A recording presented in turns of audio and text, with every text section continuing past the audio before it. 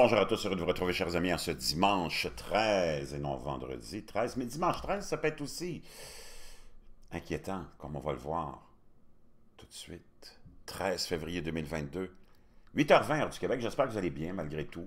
Il semble avoir de l'espoir à l'horizon concernant cette pandémie mondiale et toutes les restrictions et les mesures qui ont affligé le monde, la classe moyenne, les pauvres, les riches, comme d'habitude, sont toujours à l'écart de tout, se permettent tout. Mais nous, on a souffert énormément. Nos entreprises que nos frères et sœurs, euh, cousins, cousines possèdent, si ce n'est pas déjà fait, probablement vont se retrouver euh, en faillite bientôt, auront tout perdu dans un finalement dans une incompréhension de tout ce qu'on aura pu faire. On va mettre ça de côté pour l'instant, parce qu'il y a plein d'autres choses aussi qui se passent. On voit la grogne partout, vous le voyez.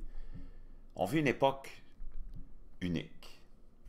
Je pense qu'on n'a pas besoin de s'étendre plus longtemps sur le sujet. Je pense que vous voyez ce qui se passe. Vous avez déjà entendu parler de l'histoire, de l'humanité. Il y a des choses en ce moment qui n'auront jamais été vécues, naturellement à cause de la technologie qui n'existait pas Hein, on n'aurait pas pu penser il y a 2000 ans à la biométrie. Hein. On n'aurait pas pu s'assurer que Jésus est vraiment le Fils de Dieu avec la biométrie, ses empreintes digitales et ainsi de suite. Mais aujourd'hui, la technologie fait en sorte qu'on va se retrouver dans une ère complètement hallucinante. Donc la technologie, c'est une chose. Le contrôle, surtout, de l'individu via toutes ces technologies, via l'informatique, via l'Internet, c'est une autre chose. Ce qui semblait être toujours extraordinairement euh, libérateur, les réseaux sociaux, par exemple, l'Internet, il y a 20 ans, maintenant on se rend compte que c'est un outil qui peut se tourner contre nous, si on ne fait pas attention à ce qu'on dit, qu'on est surveillé. Il ne faut pas blâmer les plateformes, parce que ça, c'est le jeu des politiciens ou de ceux qui ne comprennent pas trop le système. Si des mesures de censure sont mises en place, c'est toujours parce que les politiciens, les gouvernements le demandent. Et que les médias hein, viennent mettre leur nez là-dedans comme des policiers parce que, naturellement, on est le bras du système puis des gouvernements. Les médias sont là pour s'assurer que l'élite va toujours être au pouvoir. Les médias sont là pour faire de l'argent. C'est des corporations, des... Dans les plus riches au monde, on n'en parle jamais, mais c'est elles qui contrôlent le monde les médias contrôlent le monde et ont un pouvoir ultime. Et ils sont toujours, naturellement, accoquinés avec le système en place dans le pays où tu vis. Puis le système en place dans les pays existants est toujours le même. L'élite dirige, le troupeau de moutons subit et paye pour tout le système. Les pauvres ne peuvent pas payer, ils n'ont pas d'argent. Puis les riches, partout où ils sont, payent jamais non plus parce qu'ils ont toutes sortes de méthodes pour échapper à l'impôt et aux taxes. Puis même s'ils étaient taxés comme on l'est, ils possèdent tellement que ça ne changerait pas grand-chose dans leur statut. Donc ça, c'est universel. Les médias ne sont pas là pour libérer un peuple, pour faire en sorte que chaque individu soit heureux et épanoui. Sinon, ils n'existeraient plus, ils n'auraient plus de pouvoir. Et conséquemment, l'élite ne serait pas là non plus la même élite. Ce serait un système complètement différent. Donc, le système est là depuis très longtemps, des milliers d'années. Hein, le système de contrôle. Puis tu peux remonter à probablement la création des euh, grandes religions, en commençant par Moïse et les dix commandements qui sont en fait un pamphlet politique pour contrôler une population. Je ne juge pas de la valeur de ça, j'explique ce qui se passe.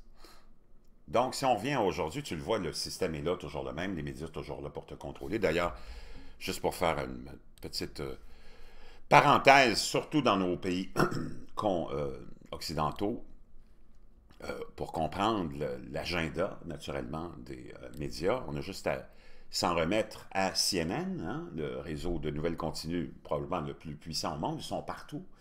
Puis ils ont fait des petits en plus toutes les versions que tu vois dans les autres pays, que ce soit dans les pays arabes ou quoi que ce soit, ont toutes pris leur modèle sur CNN, qui était une des premières, hein, grandes entreprises médiatiques à mettre en place un réseau d'information continue. C'est Continuous News Network. Hein? On blague souvent avec ça, comme Communist News Network. Mais on n'est pas, pas dans le tort quand on dit ça.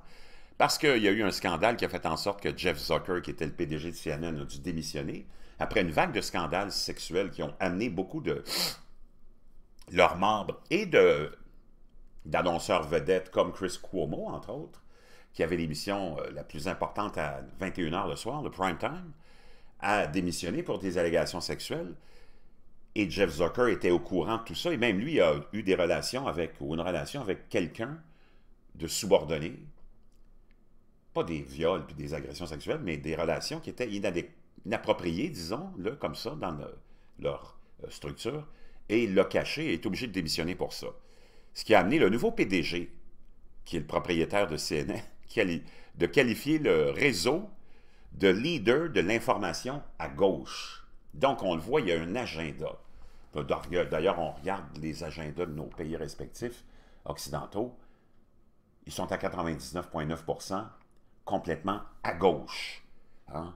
Puis quand on se met à gauche, c'est toujours pour donner l'illusion à la bonne population de moutons que ça va être favorable pour eux. La gauche, c'est pour le peuple. La droite, c'est pour on ne sait pas qui. Pour les racistes, les xénophobes. Je ne sais pas. Et l'extrême droite. Mais la gauche, puis l'extrême gauche, c'est vu de façon euh, dans les médias, hein, et dans les, dans les cercles d'intellectuels et de, de, de, professeurs et de grandes universités comme, mon Dieu, la gauche, hein, l'emblème de la noblesse. Mais dans le fond, la gauche, c'est un outil pour contrôler le peuple.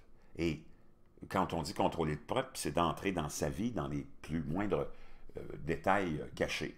Et d'ailleurs, tu regarderas que tous les pays, ben, la plupart des pays occidentaux sont tous gauchistes et ont des tonnes et des tonnes et des kilomètres de règlements, de lois, de contrôles de toutes sortes. On met son nez partout parce que le gauchiste, dans sa nature propre, dans son ADN, veut pas régler les problèmes, veut pas de la justice puis de l'équité, il veut juste plus de contrôle et de pouvoir parce que c'est un idéologue. Et comme tous les idéologues, n'a aucune rationalité. Puis ce qui le rend heureux, c'est de contrôler le monde en pensant qu'il a changé le monde, mais par le contrôle de l'individu. Et ça, c'est une caractéristique de tout gauchiste qui est un idéaliste et un idéologue, mais qui aboutit jamais à rien. Contrairement à un républicain ou un libertarien qui va vouloir plus d'efficacité et surtout redonner plus de pouvoir à l'individu pour qu'il puisse gérer sa vie en tant qu'individu autonome et responsable, et on a confiance qu'il peut le faire. Le gauchiste, ceux qui nous gouvernent sont tous gauchistes, se présentent comme des gauchistes, et ce qu'ils veulent, c'est le pouvoir et surtout aussi contrôler ton argent. D'ailleurs, on regardera que on pourra observer que tous les pays gauchistes, la France, euh, tous les pays scandinaves, le Canada, le Québec, on est les plus taxés au monde pour absolument les services les plus inefficaces, qu'on pourrait qualifier même de pourris au monde. Tu n'as qu'à regarder le Québec, l'individu le plus taxé au monde, la classe moyenne, service de santé le plus pourri et inefficace. Ils se sont rendus compte de ça maintenant, mais ça fait 40 ans que c'est comme ça. Système scolaire complètement pourri qui endoctrine les enfants, puis qui donne un résultat de probablement d'échec le plus lamentable dans l'histoire euh, du monde occidental le système routier le plus pourri au monde. Puis la liste est longue de tous les services gouvernementaux qui sont complètement inefficaces parce que c'est une grosse machine monstrueuse. Donc, tout, quand tu comprends tout ça, tu te dis qu'on vit des moments uniques.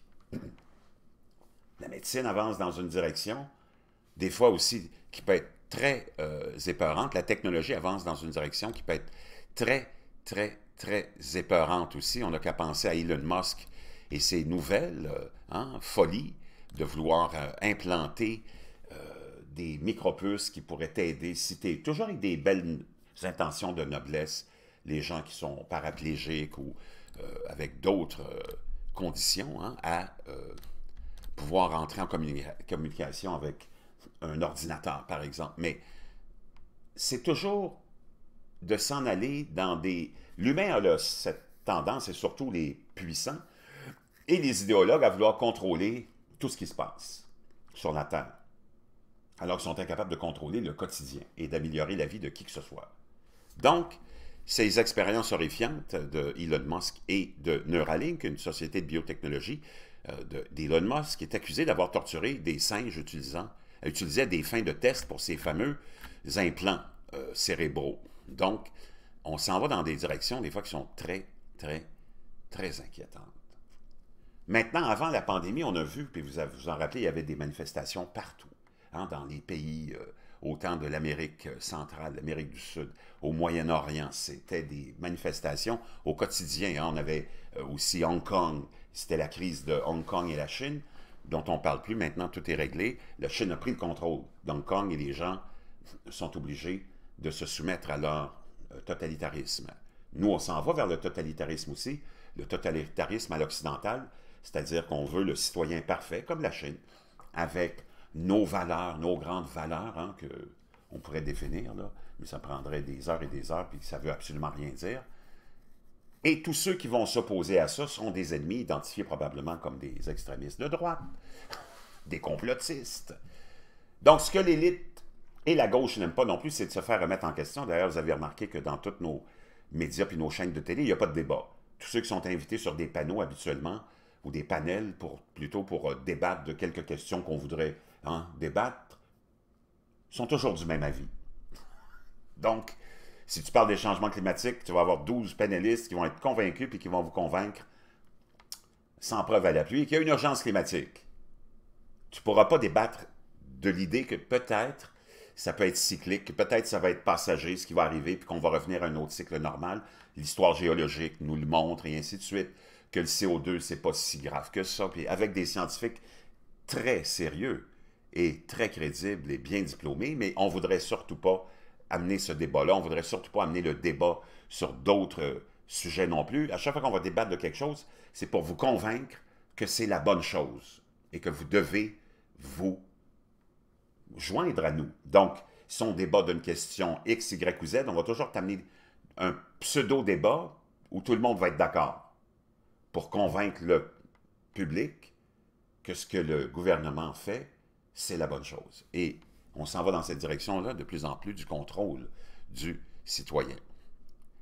Et ça, c'est important de le comprendre. Mais je sais que c'est pas facile parce qu'il y a tellement, tellement, on a tellement mis, puis on, sait, on le sait du côté de l'élite que c'est important de, de, de, mettre en place un système de division totale, puis de faire perdre le temps aux gens avec des partis politiques, puis des programmes politiques qui, dans le fond, sont que de la, de, la distraction.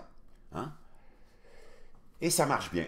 Et ces gens-là s'en vont et restent toujours, s'en vont toujours vers le pouvoir et plus de pouvoir et restent toujours au pouvoir.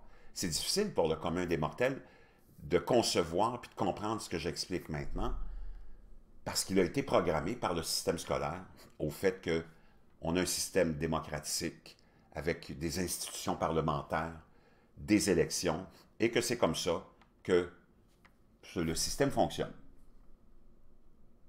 On va pas t'expliquer, surtout pas, que le système fonctionne toujours pour le même monde.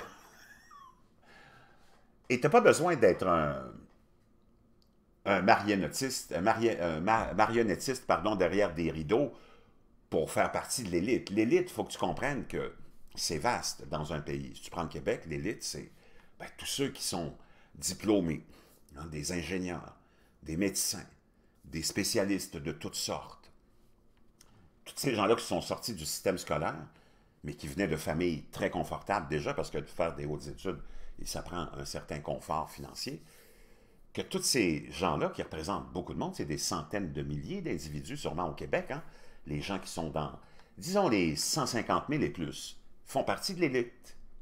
Et ces gens-là se battent et sont dans le système et se battent bec et ongle pour préserver leur statut, leur confort. Et sont convaincus que le système marche bien. Parce que le système les sert bien. Le système les amène à des professions confortables. Puis ces gens-là ne veulent pas de changement. je pourrais même te dire que ceux qui font même, c'est pas beaucoup, là, mais 50 000, 75 000, sont convaincus aussi que ça marche pas si mal parce que, bon, avec l'endettement, ils seront capables d'aller chercher une maison, une voiture, voyager même si toute leur vie, ils paieront, ils paieront les banques. tu ne peux pas les convaincre que, wow, faut changer le système parce que, naturellement, on va utiliser la peur de finir dans la misère si jamais on changeait le système. Parce que de changer de parti politique puis de faire une loi sur un sujet X, Y ou Z, là, c'est pas ça changer le système. Tu comprends? Donc, on est dans ce système-là pour y rester probablement très longtemps. Et il n'y a pas grand-chose à part un cataclysme d'une ampleur inégalée dans l'histoire qui viendrait changer le système. C'est-à-dire que tu aurais hein, un astéroïde qui vient frapper, puis là, on tombe dans un hiver nucléaire partout. C'est sûr et certain que le système tombe. Mais un système, puis il est mondial, le système.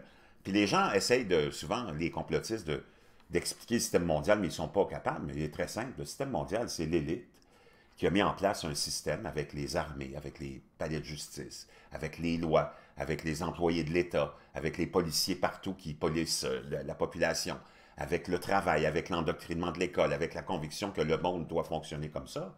Puis ça, c'est dans tous les pays. Le système est très solide. Puis c'est ça, le système mondial, c'est qu'il est basé sur toutes les mêmes, euh, les mêmes structures. Tu comprends? Que es dans un pays d'Asie, un pays d'Europe de l'Est, un pays d'Afrique, un pays américain, de l'Amérique, tu vas avoir la même structure, toujours. Les mêmes gens qui ont réussi à comprendre le système et à en profiter. Tu vas avoir les structures, les palais de justice. Les, même dans les pays qu'on appelle totalitaires, tu as des parlements, tu as des élections, tu as des banques, tu as des prêts, tu as des taux d'intérêt, tu as des magasins, tu as des restaurants, tu as des cafés. Ça, c'est le système mondial qui est intrinsèque à la nature humaine, comme intrinsèque au système des fourmis ou des abeilles, comprends-tu? Puis pour sortir de là, ça va prendre un cataclysme. Sans un cataclysme, tout le reste, c'est du vent, tout le reste, c'est du surplace. Hein? C'est comme quand tu t'achètes un, tapis roulant, ben, tu peux faire des centaines de kilomètres par semaine, mais tu vas toujours être au même endroit devant ta télé, en train de faire ton tapis roulant. Donc, c'est d'une simplicité, mais naturellement, pour s'amuser, pour se distraire, on met ça d'une complexité incroyable. Mais moi, je te le dis, la seule chose qui pourrait changer le système, on parle du système, là, tu sais, d'avoir un nouveau parti euh, au pouvoir qui va te mettre euh, une loi X, Y ou Z sur un sujet euh, ABC, c'est pas changer un système, ça, là. je voulais pas vous briser votre bulle, ceux qui pensent qu'ils sont capables de changer un système, puis d'expliquer un système, que tu sois à gauche ou à droite, ou les complotistes. Mais le système, il est là pour rester, wow, probablement encore des milliers d'années, à moins que demain matin, il y ait un cataclysme mondial. Mais sinon, adaptez-vous au système puis essayez d'en tirer le meilleur parti, mais surtout, essayez de le comprendre vraiment. Je vous reviens.